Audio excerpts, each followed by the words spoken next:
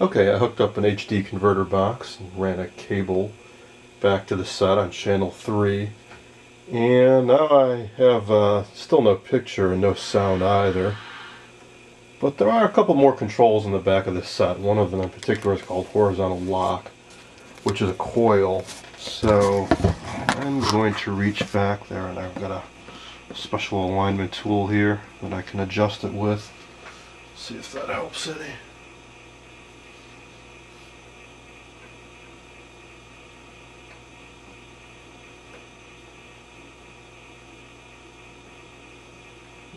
Some of that, right? Go.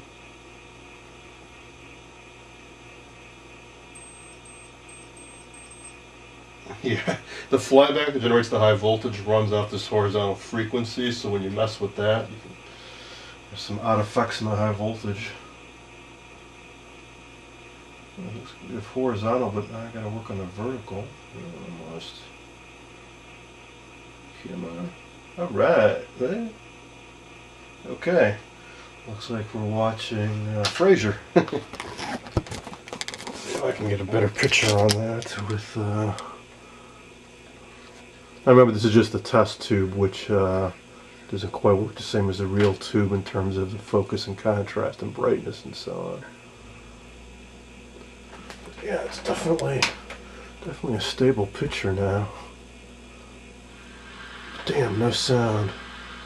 I had a similar problem with the other set where I couldn't get audio, good audio and video at the same time. So I'm gonna go back to channel six and see what happens with that like I said in my earlier video, these converter boxes, the signals they put out, sometimes uh, vintage TVs just really don't like them. So let's go back to an over air. Uh, uh, let's go back to uh, my antenna and an over-the-air station.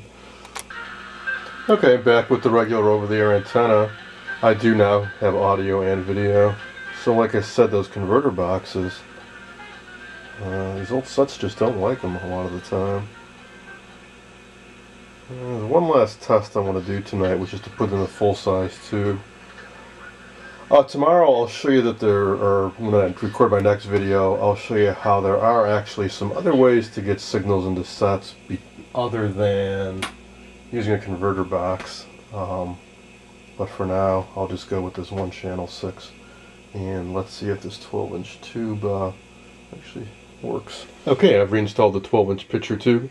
This probably seems small to you, but it seems huge to me because I'm used to working on 7 and 10 inch sets. This will actually be my first operational 12 inch vintage set. I got lucky on this chassis because the rubber supports underneath are in really good shape. Other sets I have, they're kind of rotted away or dried out.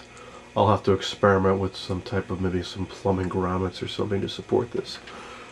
Uh, anywho, the next step is to reinstall the ion trap magnet the electron gun in these black and white picture tubes, it's cut at an angle because the electron gun emits both ions and electrons, and if the ions hit the uh, phosphor face, they can, uh, or they will burn it out and turn it brown over time.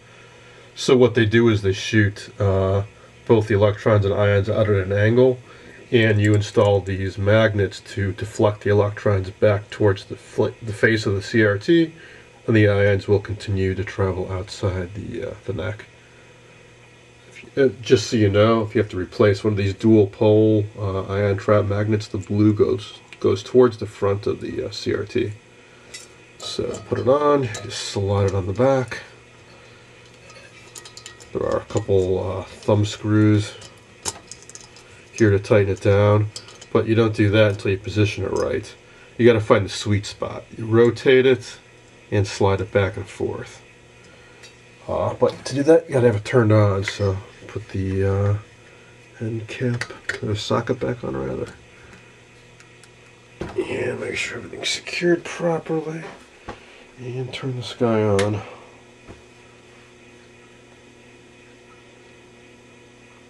I'll turn the lights off too. And I'll set the camera down because I know that I'm need my hands free.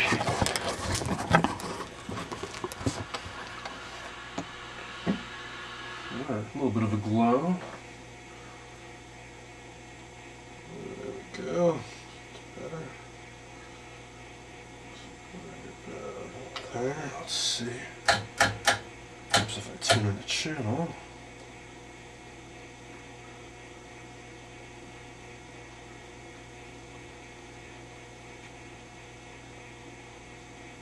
Come on. There we go.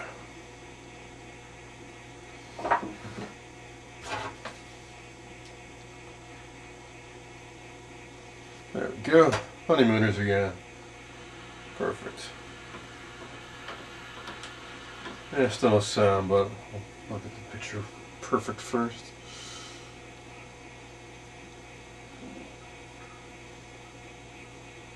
Alright, that's right about there, so I'll tighten this down.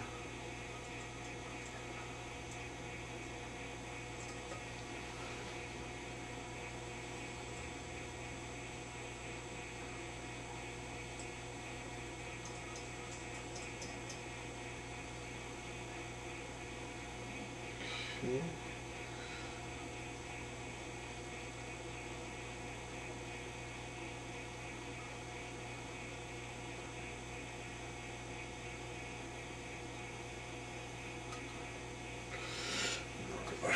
Look at and contrast.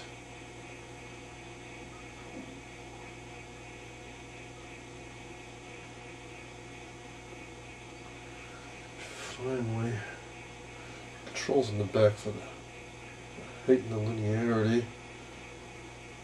Really, you really need a pass, test pattern when you're doing this part of it because uh, you're just kind of guessing. Not the greatest picture, but hey, you know this is my first time powering up this set, so should only get better from here.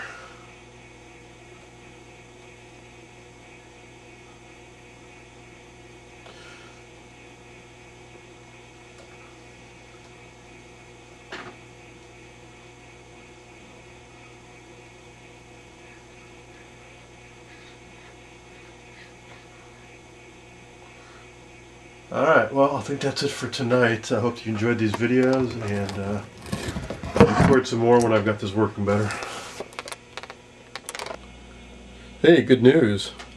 One last thing I, I tried before calling it a, uh, a night was I swapped out all the tubes from my good set, and hey, the picture got dramatically better. Still no sound, but uh, the picture is about as good as I, you're ever going to get on a set of this vintage, so... All right, great night to, uh, great note to end the night on, I think. So that's all from now. I'll record some more when uh, when I get the audio working.